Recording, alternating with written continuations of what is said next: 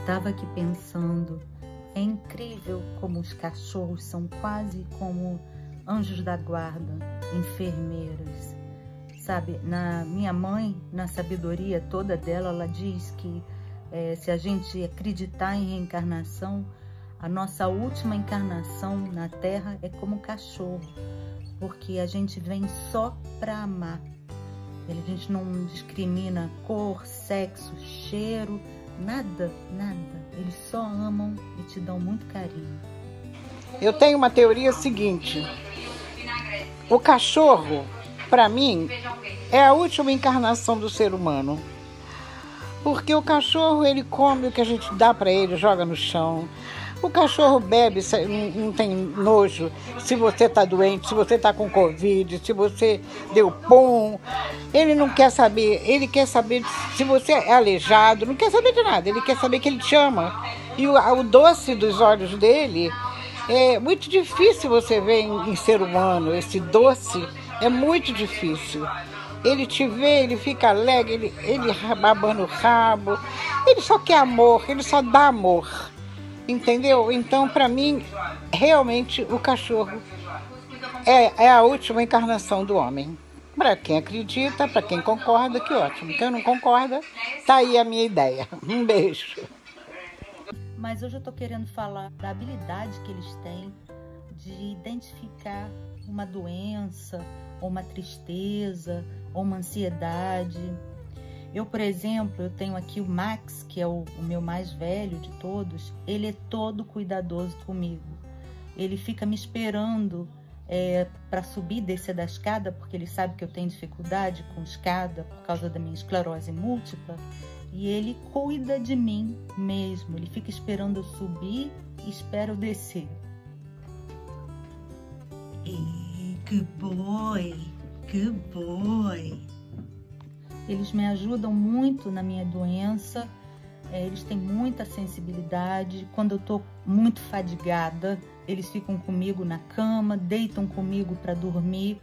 Quando eu estou muito cansada, eles são incríveis. A Lace, por exemplo, em particular, ela deita em cima de mim, deita em cima das minhas pernas, como se dizendo assim: fica aí quietinha, vai, que você está cansada. Mas existem é, casos que os animais preveem ah, que o dono vai ter uma doença, porque eles sentem o cheiro.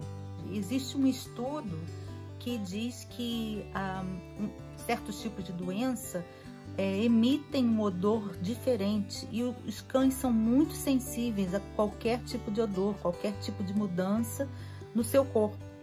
Por exemplo, o câncer, a diabetes, é, doenças neurológicas, como a que eu tenho, que é a esclerose múltipla, elas todas têm um, têm um certo odor que a gente não sente, mas eles sentem. Até mesmo quando a doença ainda não se desenvolveu, bem no início, que isso é importante, porque os cachorros pegam e avisam a você. Os cachorros possuem 300 milhões de receptores olfativos, comparados com os humanos que só têm 6 milhões. Então eles já sentem coisa que os humanos nem vão sentir. Hoje saiu uma notícia aqui que os cachorros da britânica Linda avisaram a ela que o câncer dela estava crescendo antes até que ela soubesse que tinha câncer. A Linda que mora no país de Gales com o marido e dois pastores alemães, disse que de repente os cachorros começaram a dar umas cabeçadas nos seios dela e o comportamento não mudava, insistiam, insistiam, começaram do nada a fazer isso. E a Linda pegou e falou: Não, o que, que eles estão fazendo isso? Vou tocar aqui no meu seio, procurar um caroço. E não achou nada.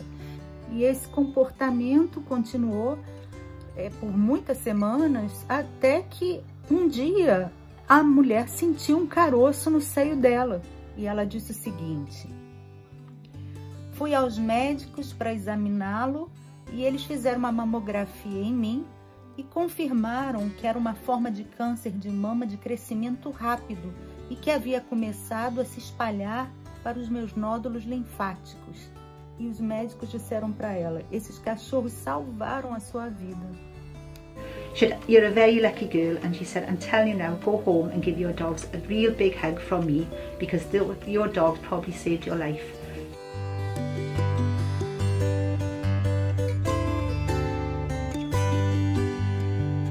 Tem muitos depoimentos de pessoas com esclerose múltipla que dizem que os animaizinhos quase que avisam aos donos quando eles estão prestes a ter uma recaída da doença. Por exemplo, não sei exatamente quando percebi que meu cachorro parecia ter um sexto sentido sobre a minha doença, mas ele provou repetidamente que às vezes sabe do que eu preciso antes mesmo de eu saber. Esse pequeno peludo é tão sensível a mim e à minha saúde que me alerta antes de uma crise ou recaída. Quando eu estou prestes a ter uma recaída, ele me segue para todo lado e fica extremamente agitado se eu estiver fora do seu campo de visão. Ele se deita sobre mim e tenta me manter sentado ou deitado durante uma recaída ou no momento imediatamente anterior a uma ocorrência. Quer dizer, igual a Lace, né? Que a Lace se deita sobre mim para quase me falar que você tem que descansar.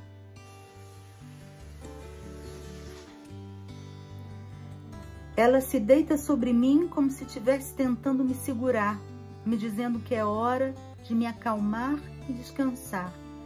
Ela também me acorda se for a hora dos meus remédios e não me deixa voltar a dormir. Ela é o meu mundo, escreve Fink.